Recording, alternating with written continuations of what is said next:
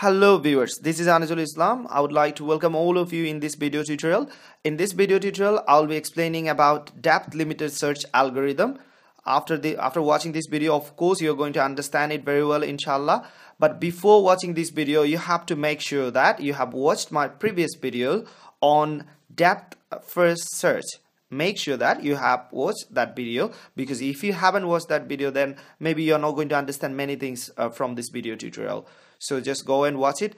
Okay so we are going to we are going to learn how the depth limited search work. Now what is depth limited search? Depth limited search is nothing. It is just a combination of dfs that means we're going to see uh, but the dfs uh, application here. But there will be some limitation uh, of the level so you'll have a limit for the level that means we already have seen that we can call this one as level 0 we know that.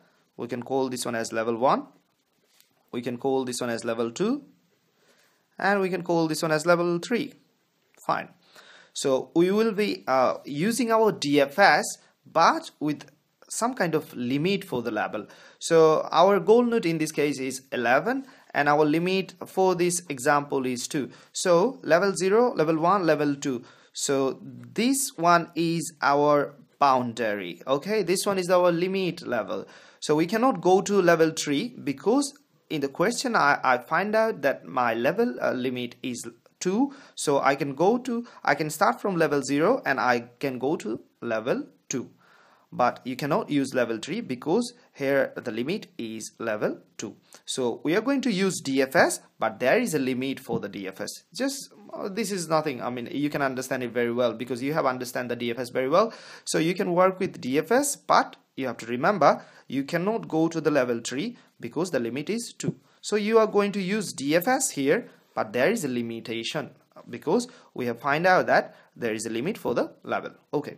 So let's get started so we're going to start from 1 because in DFS you have already seen that. You can start with the root node then you can go to the left then you can go to the right. But remember our level is 2 so we cannot go to the level 3 we cannot visit this. So our root node is 1 we're going to start from 1 then we have to come to the left side as I already uh, explained you.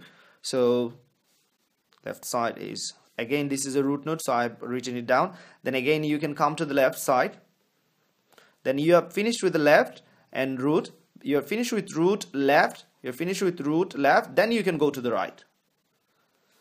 Again you're finished with root and the left side. Now you can go to the right. And again this is a root so you have to give the priority to the priority to the root node. So you are going to write it down 3 here. Then you can come to the left side. And after finishing the left side only finishing the left side you can go to the right side. So uh, this is end of our uh, this video tutorial because I have uh, already told you this one is very easiest video tutorial because uh, you have clear concept about depth first search and now you are going to use a limitation for the level.